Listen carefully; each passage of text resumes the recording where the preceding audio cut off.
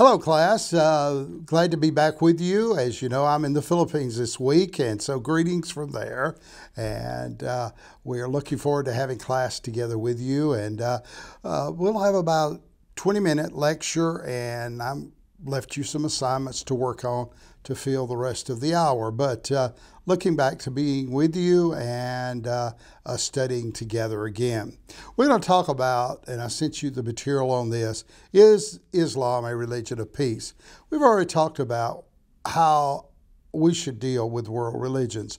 First of all, as Christians, people who are religious in any uh, world religion are good people. They're moral people. They're trying to prove themselves. They're trying to prove their family life. Uh, they're trying to uh, honor uh, a power greater than themselves, which, of course, uh, other world religions have their gods and goddesses, and they have their uh, their beliefs, and uh, so we deal with them out of love. The early church began in a pluralistic, very religious uh, world. Uh, Paul on Mars Hill is a great example of that. He even complimented them by saying, I compliment you basically for trying to worship even a God, maybe you don't know his name, the unknown God. And uh, you're very religious, you're very, very devout, but uh, you need to know about Jesus. One question we get asked about a lot, and we certainly are not going to look at this in the context that some people do some people ask the question why would anyone want to be a member of the Islamic faith because of the terrorism and because of the, the bad things that have happened? Well, there's bad things that have happened by adherents of every world religion, even Christianity.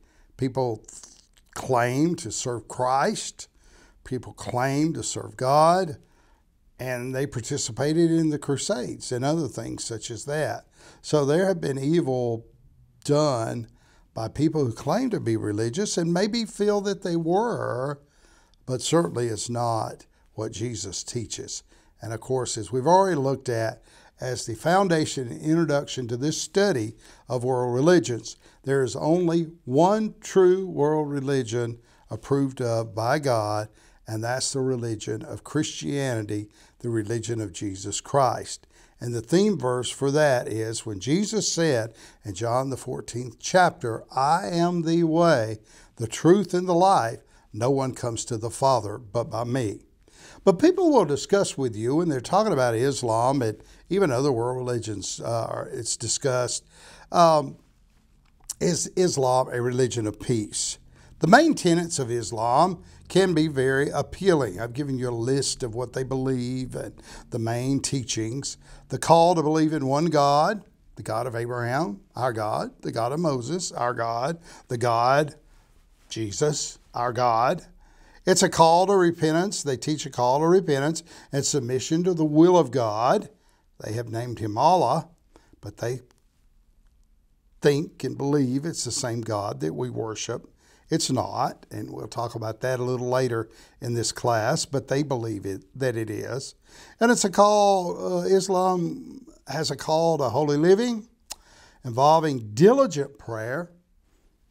We should be ashamed of ourselves maybe sometimes. I've thought about this as I've traveled the world and been in Islamic countries and seen how devout the people were when the Islam call to prayer was, uh, was given. You can hear it the mullahs and, and uh, uh, their um, temples, their mosque, call people to pray five times a day.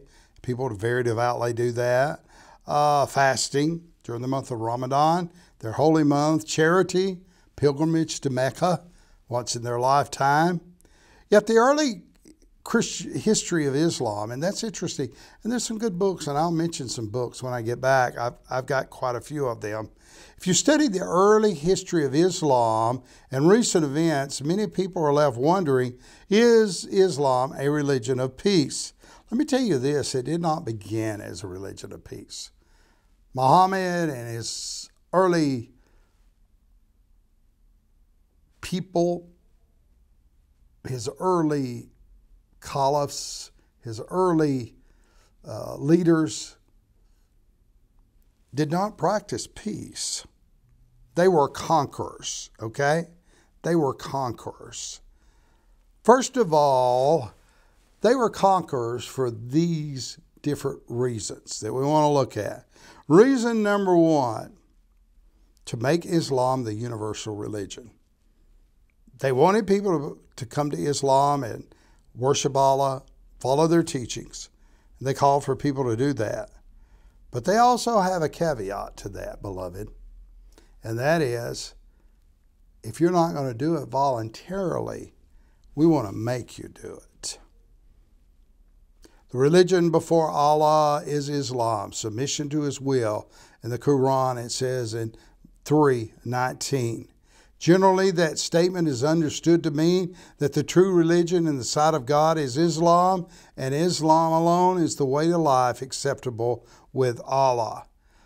It is also their objective is Islam and Islamic doctrine is to be proclaimed over all other religions.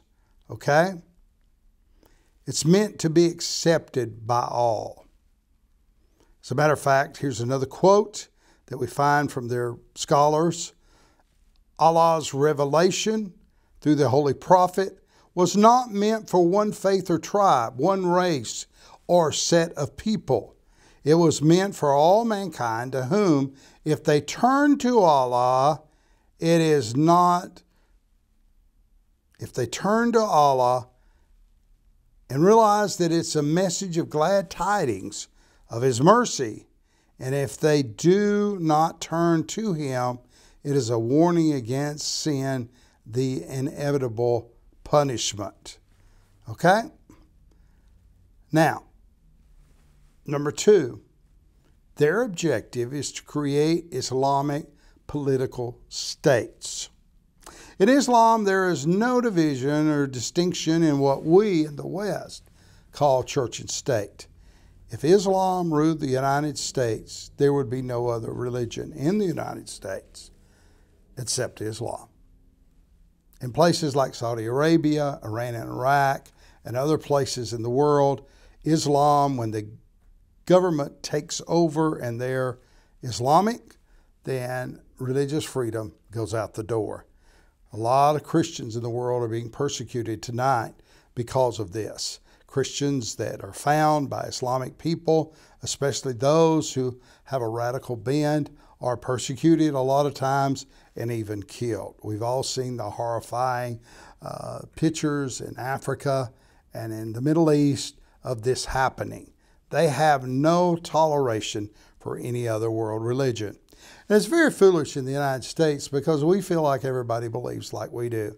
And we feel like, well, there's nothing wrong with being Islamic and Christian and Buddhist and anybody else, and we can all get along and because we have religious freedom. They do not, beloved, believe in religious freedom.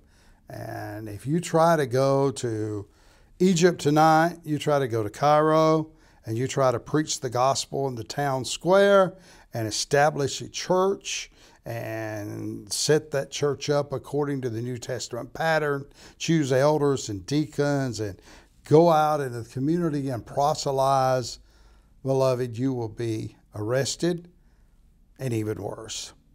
They have no religious freedom at all. So they believe this. They believe they're doing the will of Allah and by persecuting other world religions. And uh, we need to realize that Islam is not content to be practiced as we teach and believe in the United States as a personal religion. Its goal is to create the ideal Muslim community and all political states, all people in these states, they create with all the citizens are required to submit to Sharia, which is Islamic law. Okay? And this is the aspect of Islam that creates the potential for great conflict among the nations. Christians view the kingdom of God completely different, as we know. Write these verses down, please. John chapter 18 and verse 36. John 18 36 teaches that Jesus here is teaching that his kingdom is not of the world, his kingdom is a spiritual kingdom. Also, Romans chapter 14 and verse 17. Christians can live under any form of government. We can live in Islamic countries. We can live in communist countries. We can live if they would allow us to preach and teach our doctrine, our beliefs. But it's these people that believe that their religion has to be and must be followed, and they must force people to follow it, and they're doing their God's will by forcing people to follow it that causes problems. That's not Christianity. As a matter of fact, in 1 Peter chapter 2, verses 12 through 17, we read and study, and let's open our Bibles there. That's a very important passage. Here Peter is writing toward the end of his life. And so in 1 Peter chapter 2, he's going to talk to us about our dealing with government and world religions. 1 Peter chapter 2, and we'll start with verse 12. Everybody, open your Bibles there.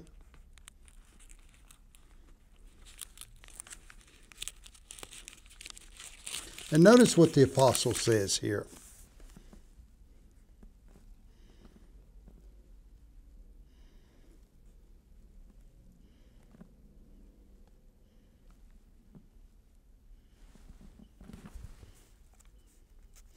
Peter lived during one of the cruelest emperors of the Roman Empire. His name was Nero. Nero persecuted Christians. And it's interesting when we read this passage together that we're going to do here in a second to think about that this man that he's telling us to respect not his actions, but the fact that he is the head of the government. This man, in whose government they live under, the Roman Empire, all early Christians lived under the Roman Empire. And we should respect that, and we should respect the laws of that empire, unless, as Peter himself said with John, we must obey God rather than man, as they were commanded to do something against the Christian faith by the Sanhedrin in Jerusalem in the book of Acts. But it's interesting to note that this same Nero, the same Roman government, was the emperor and the government that killed Peter and Paul and killed so many other early Christian martyrs. But notice what he says in 1 Peter chapter 2, starting verse 12. Maintain good conduct among the Gentiles, so that in case they speak against you as wrongdoers, they may see your good deeds and glorify God on the day of visitation. Be subject for the Lord's sake to every human institution, whether it be to the emperor as supreme, or to the governors as sent by him to punish those who do wrong and to praise those who do right. For it is God's will that by doing right you will put to silence the ignorance of foolish men. Live as free men yet without using your freedom as a pretense for evil, but live as servants of God. Love all men, love the brotherhood, fear God, honor the emperor. This makes Christianity, beloved, and we're comparing and contrasting Christianity through all these different world religions and worldviews. Uh, this makes Christianity unique of all of these worldviews. And it is a beautiful challenge for us as God's people to live and honor and respect who the ruling power is. But Islam doesn't teach that. As revealed in the Quran, uh, jihad, uh, there's all kind of uh, definitions of jihad. It's spelled J I H A D, jihad. And uh, of course, the form that we're more familiar with is uh, the one where terrorists fight and attack others. As a matter of fact, the Quran says, and the Quran 8, Surah 8, 39, make war on them until idolatry will cease and God's religion will reign supreme. And the Quran, Surah 9, that's their chapters, surahs, 29, fight against those whom the scriptures were given. Do not embrace the, and do not embrace the true faith until they pay tribute out of hand or are utterly subdued. Now, a lot of people who are Islamic today, and we must be honest, do not believe in jihad as expressed by the radical groups among the Islamic religion. They teach that jihad is just self control, yourself, submitting yourself to God, submitting yourself to uh, uh, man, and uh, honoring God in that way. But there is a concept that teaches the Islamic people that it's okay to fight and to attack and to conquer and even to kill those who do not follow their religion. The early history of Islam basically was a war, wars. After the death of Muhammad, the first four successors to Muhammad, known as the caliphs, were men of war, men of war. For the next 300 years, the history of Islam involved expansion through military conquest. They conquered the Middle East. Okay? Civil war, as various Islamic factions struggled for power, there were assassinations, massacres, execution, and inquisitions of Muslims by other Muslims. Okay? And in modern Islamic nations, in every country where they have taken over the government, Sharia, Islamic law, is embraced. At best, if you live in those countries as a Christian, uh, you are you face discrimination, social ostracization, and harassment. And at worst, non-Muslims can face prison, torture, and death for practicing their religion. Modern day Islamic people appear to be going through an identity crisis. Moderates seek to redefine their religion as a spiritual struggle. Extremists seek to define their religion as a literal struggle. Which view of Islam that will prevail remains to be seen.